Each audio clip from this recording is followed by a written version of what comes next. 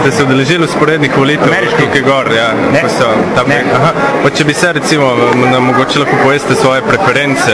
Pa Jaz sem že povedal, ni treba, če bi se ne. Jaz eh, bi volil Obamo, če bi mogel in to zelo jasno zakaj. Aha, ja, mislim, če lahko. Povejte, recimo, uh, o, dobro, obstaja ta Obama mija, pravijo, obstaja ta uh, euforija nad Obamo, predvsem v Evropi, niti ne toliko v Evropi, je mislim, ful več kot v Ameriki sami.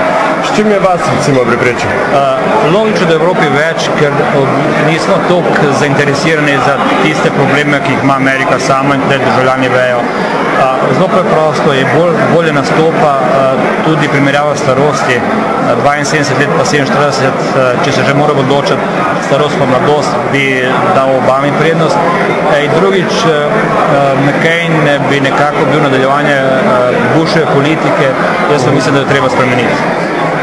Uh, mislite, da Obama lahko, recimo, toliko ste preferirani do njega, da očitno poznate njegov program, mislite, da lahko vse uresniči, kar si je zadal. Predvsem me zanima to, da bo 95 odstotkom američanom dal uh, brezplačno zdravstveno uh, zavarovanje, plus da jim bo znižal davke in tako naprej.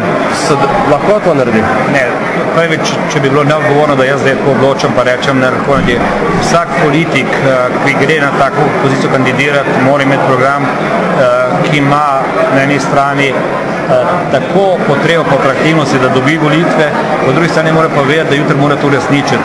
Kajti čez eno krajše obdobje, no ne mlad človek, ne bo prišel spet na volitve in ga bo ljudje vprašali, kaj od tega si uresničil. Verjetno se vsega ne da uresničiti, ampak eh, socialna politika Amerike je že stalen problem, eh, kako v bistvu dati to, kar ima, bom rekel, Slovenija. Saj v startu imajo vsi eh, osnovne enake pogoje za, bom rekel, socialno varstvo. Eh, To ne eh, prepustimo tistim, ki volijo. Jaz sem povedal, zakaj je meni eh, bolj Obama všeč. Ne? Nekako umik ali pa prenehanje vojn mi zdi prvi faktor. Treba se naučiti živeti skupaj v razliki in svet je zdaj majhno dvorišče. Predvsem se mi pa zdi, da ramo spet tega liderja, ki bi lahko tudi eh, skupaj z drugimi po svetu to finančno paniko, eh, ki se naj vlada ustavil. Ker zam, za moj okus je ta finančna kriza absolutno pretirana. Ker kaj bo zdaj, pa zdaj banke po svetu delale? Bojo nehali prodajati denar, bo začeli prodajati kozarce, kruh in tu potrebujemo liderja, ki bi pa bi rekli, ne, jaz zagotavljam, ne, da je finančni sistem v Ameriki trden. Žal Bush ni tisti, ki bi ljudje verjeli. Na drugi strani bi lahko bil Putin, Z razlogom. Ja. Absolutno. Putin je bil ta avtoriteta, vendar sedaj v tej funkciji ni več na tem položaju, ki bi bil medvedov še nima. V Evropi bi bil to Blair lahko, ki so ljudje verjeli. Civ. Uh, Brown ne, je strokovnjak, ampak nima teže pred ljudje, da mu ljudje verjeli. Merklova je previdno tiho, ali pa preveč tiho, Sarkozy se trudi, ampak še vedno nima te teže. Tako da mi nimamo zdaj liderja na svetu, ki bi v bistvu potegnil to pozitivno energijo v ta krizo. In Vem, to je- ampak recimo, če to vidite v Baracku Obami, ne, uh, eda, Ne, ena vidim, izmed- jaz vidim, jaz Aha. vidim, da je on priložnost, ki lahko to postane. Vem, ampak On rabi čas. so očitali recimo, da mu je eh, ekonomski program šibak. Isto McCainu, to je res, ampak uh, Socialističen v bistvu tudi. Ne? Zdaj bomo prej, Ja, to- to prišli- zdaj bomo prej vse prišli do tega, ne, da socialistični program ni bil tako slab. Eh, eh, Še enkrat ne bomo pogledali ne, način življenja, pa vprašajte starše, pa boste ugotovili, kaj pomeni. radio študent vemo, kaj socialističen program, ne z takimi. Ne, tržna ekonomija ima tudi slabosti, ni samo tista, uh, očitno tisto prišlo, da ugotavljamo, da tržna ekonomija ni tisto, ki bi vse reševala.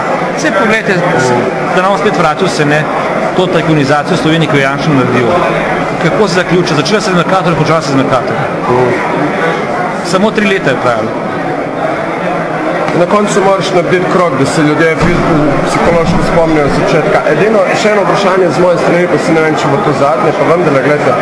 Um, 660 milijonov je uspel zbrati Barack Obama. Uh, če seštejemo zraven še to, kar je uspel McCain zbrati za svojo kampanjo, dobimo skoraj milijarde dolarjev. Zdaj jaz imam nobenih iluzij, da to ni prišlo v glavnem od velikih nekih uh, lobijev ali pa karkoli, pa vendarle tudi uh, ljudje navadni so dali ogromno denarja, predvsem Baracku Obami, ki vidijo v njemu neko priložnost. In to v času recimo res najhujše krize po letu 1929, kako recimo mogoče to gledate, se vam sploh zdi smiselno, je, je ta predvolilna kampanja spektakel sam po sebi, glede na to vrtoglavo vsoto denarja? Za moj okus prehud.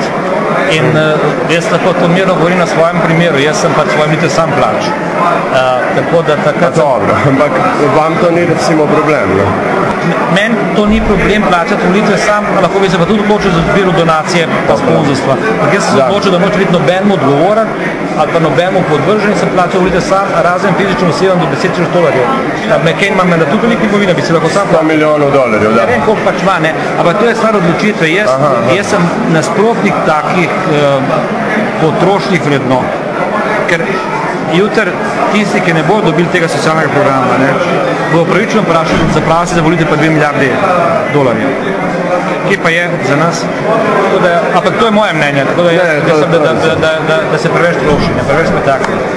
Je, ne, mislim, že tudi kampanja sama, evo to pa res zadnje vprašanje z moje strani, uh, tudi sama kampanja je bila veliko krat na izjemno nizko intelektualnem nivoju, ne, med McCainom in Obamo. Uh, hudi, ne, se ni, da smo v Sloveniji imuni na to. In Mene ni bilo z te volitve, ampak predvolilna kampanja je bila jako paranoidna, predvsem z ene strani. Ne.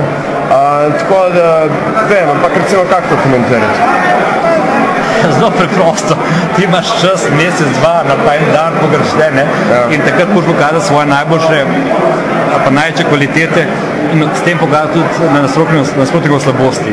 Zdaj pa stvar odločitve, ali narediš na svojih kvalitetah, pa pustiš, da ostali vidijo njegove slabosti, ali si pa tako nesiguren, da pos- poskušaš potencirati njegove slabosti. Uh, stvar, stvar in karakterja in same odločitve po mojem okusu je te prevelik vpliv svetovalcev. Jaz sem poskušal ne, v tistih svojih predvoljenih, pa sem imel res prime- primernega analitika, pa zelo dobrega, ampak po enem tednu sem mu rekel, ne poskušaj me spremenjati. Ker potem nisem jaz. Potem boš podajal nekaj zavet v nek papir, kar ni res. In potem, če ni res, ne, potem se vidi, da to ni isto. In v vseh teh letih ne sem pa zadost ne mislim, da je moja stališče vedno pravo. Bo tako si. Ja, v redu, bilo to. Hvala lepa res še enkrat, gospod Jankovič. Hvala.